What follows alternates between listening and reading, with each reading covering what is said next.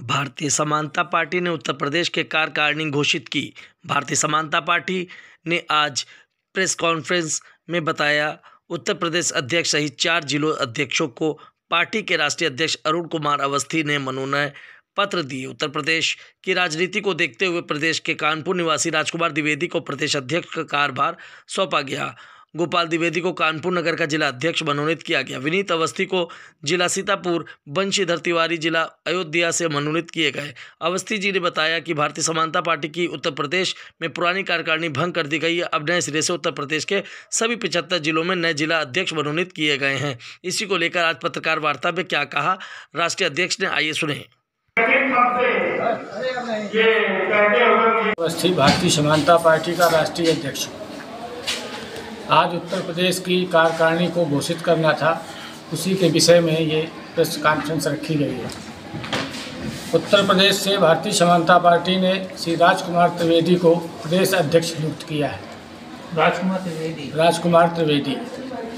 और कानपुर महानगर से श्री गोपाल त्रिवेदी को जिलाध्यक्ष मनोनीत किया गया है। अयोध्या से हमारे बंशीधर तिवारी को और सीतापुर से विनीत अवस्थी को जिला अध्यक्ष मनोनीत किया गया है। पार्टी उत्तर प्रदेश में बहुत जल्द ही अपनी कार्यकारिणी की आगे घोषणा करेगी, जिसमें संपूर्ण कर लिए जाएँगे। अचानक प्रदेश की कार्यकारिणी पूर्व में भंग कर दी गई थी।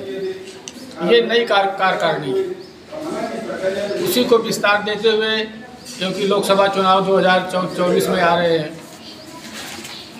चौबीस के चुनाव की तैयारी? 2024 की तैयारी अभी से मान ली जाए और भारतीय समानता पार्टी पूरे उत्तर प्रदेश की 80 सीटों पर अपने प्रत्याशी उतारेगी उद्देश्य तो ये है इस पार्टी का कि आज तक पचहत्तर सालों से जो देश की राजनीति चली आ रही है उससे बिल्कुल अलग हटकर काम करना चाहती है। ये नहीं है काम करके दिखाएगी। और ये परिणाम आप सभी लोगों के सामने बहुत जल्द ही आ जाएँगे। जल्द तो निकाय चुनाव अभी हमारे ये पहली बार हो रहा है कि हमारा सदन खाली पड़ा है।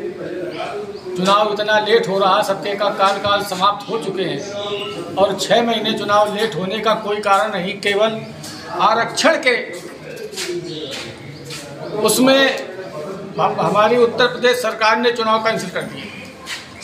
किन किन भारतीय समानता पार्टी उत्तर प्रदेश राजस्थान मध्य प्रदेश महाराष्ट्र झारखंड बिहार और पंजाब ये नौ राज्यों में काम कर रहे हैं। बढ़ रहा है। क्या उद्देश्य क्या समाज को संदेश देना चाहेंगे?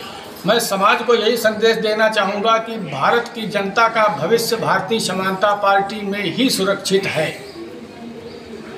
हम नेताजी सुभाष चंद्र बोस के आदर्शों पर चलने वाले भारतीय समानता पार्टी के लोग हैं। सुभाष चंद्र बोस ने हमारे शासक अंग्रेज़ों को भारत से बाहर किया था और भारतीय समानता पार्टी एक भारत में गद्दारों को भारत से बाहर निकालने आई है ठीक।